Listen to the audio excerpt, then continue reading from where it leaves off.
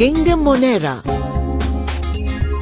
As we know, there are different types of organisms living on this planet. These living organisms are quite enormous in number and highly diversified in their characters. For better approach, living organisms have been classified into different groups by different workers. Carl Linnaeus, known as the father of classification, classified organisms into two kingdom systems, Kingdom Plantae and Kingdom Animalia. But this system had a number of demerits. Subsequently, R. H. Whittaker, an American taxonomist in 1969, proposed the five kingdom classification and divided the living world into five kingdoms. Monera, Protista, Fungi, Plantae and Animalia. Whittaker's five kingdom system is based on five factors. Complexity of cell structure, complexity of an organism's body, mode of nutrition, lifestyles, and phylogenetic relationships. Let's understand these five factors one by one. The first factor is the complexity of cell structure. On the basis of the nucleus and other characteristics, two types of cells are recognized. The first type is a simple primitive cell known as prokaryotic cell, as in the case of bacteria and algae. The second type of cell is an eukaryotic cell which has a complex structure and is found in fungi, plants and animalia. The second factor is the complexity of an organism's body. The earliest organisms were unicellular. Later on, complex eukaryotic forms evolved and in due course of time, they evolved into multicellular organisms. The third factor is the mode of nutrition. There are two modes of nutrition, autotrophic nutrition and heterotrophic nutrition. The process by which organisms synthesize their own food is known as autotrophic nutrition. For example, plants and certain bacteria. In heterotrophic nutrition, organisms depend on other organism or plants for their food. Heterotrophic nutrition is of three main types, holozoic, saprophytic, and parasitic. Holozoic mode of nutrition refers to the intake of solid food and breaking it into a simple form. In case of saprophytic nutrition, organisms obtain their food from dead and decaying organic matter, while in case of parasitic nutrition, organisms depend partially or completely on other organisms for their food, causing damage to the host organisms. The fourth factor that was considered while making this five-kingdom system is the lifestyle. On the basis of the lifestyles, organisms have been put into three groups. The first group is that of producers. Plants which utilize light energy, water and carbon dioxide to synthesize their organic food are producers. The second group based on lifestyles is that of consumers, which are animals that consume either plants or other animals to survive. The third group is that of decomposers, such as bacteria and fungi, which depend on the dead remains of plants and animals for their food and decompose them. The last and the fifth factor is the phylogenetic relationship. Phylogeny is the evolutionary history of organisms and an index of true relationship among organisms. All kingdoms are arranged to show the probable phylogenetic relationships among them based on fossils and other evidences. Such arrangement allows us to visualize an increase of complexity with evolutionary time. Let's look at each kingdom one by one. The first kingdom is Monera, which represents the earliest group of organisms. They are the most numerous of all organisms with a single drop of water, estimated to contain 50 billion bacteria. Monerans are unicellular, microscopic prokaryotic organisms such as bacteria. These organisms usually live in a moist environment and are found in hot springs, under ice, in deep ocean floors, deserts, as well as within the bodies of animals and plants.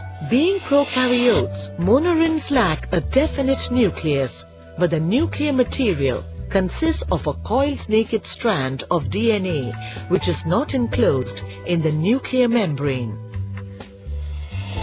Some monerans show autotrophic nutrition and some show heterotrophic nutrition.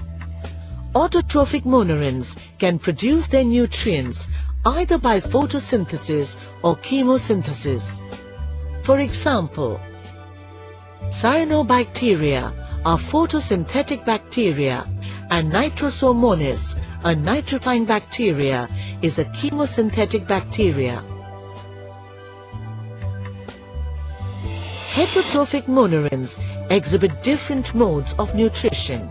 Some are saprophytes, that is, they obtain their nutrients by breaking down complex organic compounds from dead and decaying matter and are also known as decomposers. Some are parasitic, that is, they live on other living organisms causing them damage. Rickettsia and Chlamydia are parasites found in eukaryotic cells. Monerans move with the help of flagella or by axial filaments or by secreting slime. Flagella sweep in a propeller-like motion to help the bacteria move. The axial filaments cause the cell to rotate and move like a corkscrew. When bacteria move by secreting slime, they glide along surfaces.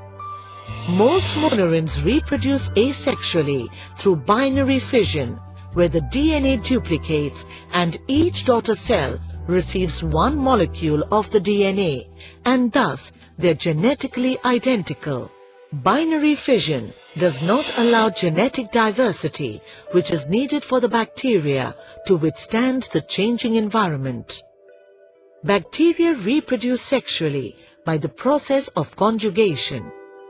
During this process, two bacteria attach to each other with the help of a pilus and the DNA material is transferred from one bacterium to another, giving a scope to genetic diversity.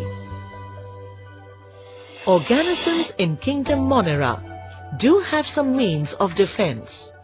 In some species of bacteria, there is a capsule made of polysaccharide peptidoglycan which covers the cell and protects the bacterium from phagocytosis by white blood cell or from desiccation.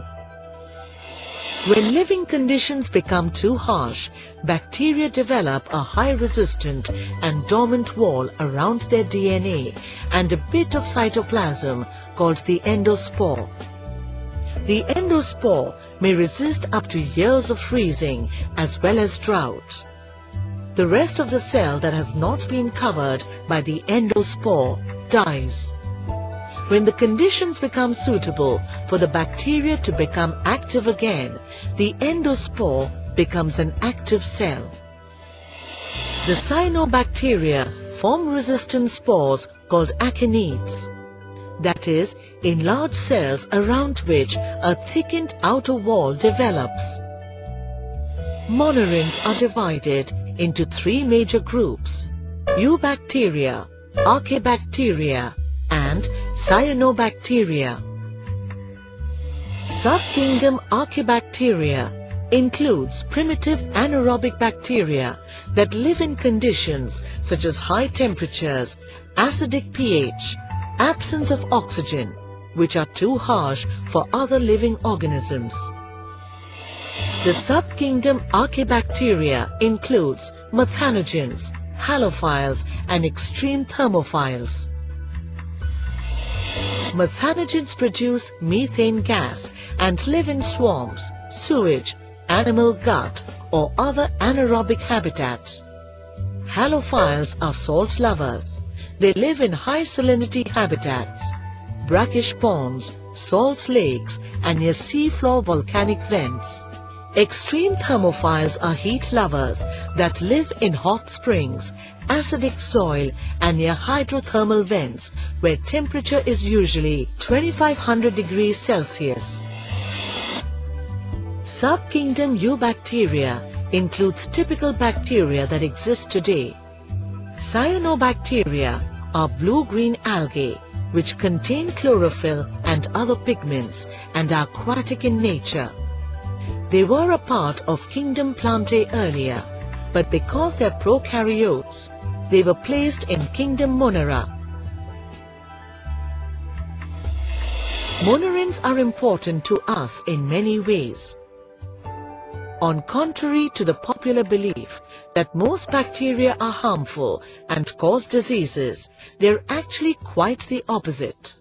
They are helpful to us in many ways. Bacteria enrich soil. For example, nitrogen fixers convert nitrogen gas into nitrate that plants need to survive. Monerans also play a very important role in the production of cheese, yogurt and vinegar. Bacteria are used in the production of antibiotics such as streptomycin. They also help cattle digest tough cellulose present in the grass.